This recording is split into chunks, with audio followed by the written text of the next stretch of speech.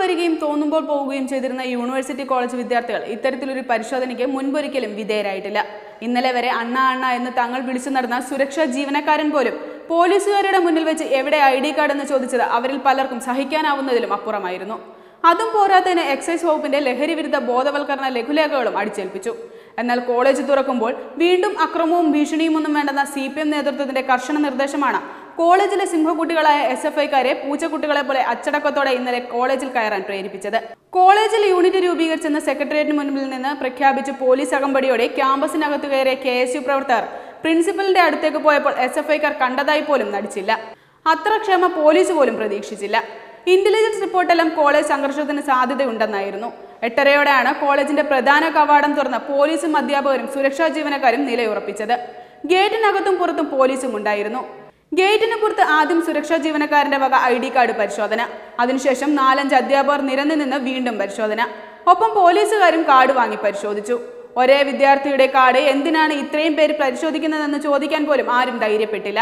പരിശോധന നീണ്ടപ്പോൾ ഗേറ്റിന് മുന്നിൽ ആൾക്കൂട്ടമായി. മാധ്യമപ്രവർത്തകരുടെ വൻ സംഘം കൂടി തമ്പടിച്ചതോടെ തിക്കിത്തിരക്കായി. ഇതോടെ അധ്യാപകർ ക്ലാസ്സിലേക്ക് പോയപ്പോൾ പരിശോധന പോലീസ് ഏറ്റെടുത്തു. വിദ്യാർത്ഥികളുടെ കാർഡ് പരിശോധിച്ചത് വനിതാ പോലീസായിരുന്നു. പിന്നീട് ഗേറ്റ് അടച്ച് കോളേജിന്റെ സുരക്ഷ പോലീസ് ഏറ്റെടുത്തു.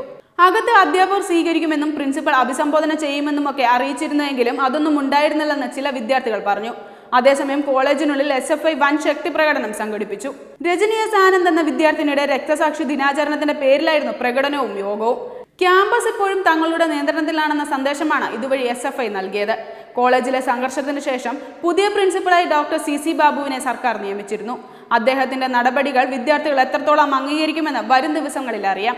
വെബ് ഡെസ്ക് തത്വമൈ ന്യൂസ് കൂടുതൽ വാർത്തകൾക്കും വിശേഷങ്ങൾക്കുമായി ഞങ്ങളുടെ യൂട്യൂബ് ചാനൽ സബ്സ്ക്രൈബ് ചെയ്യൂ. നോട്ടിഫിക്കേഷൻ ലഭിക്കാനായി താഴെ കാണുന്ന ബെൽ ബട്ടൺ ക്ലിക്ക് ചെയ്യൂ.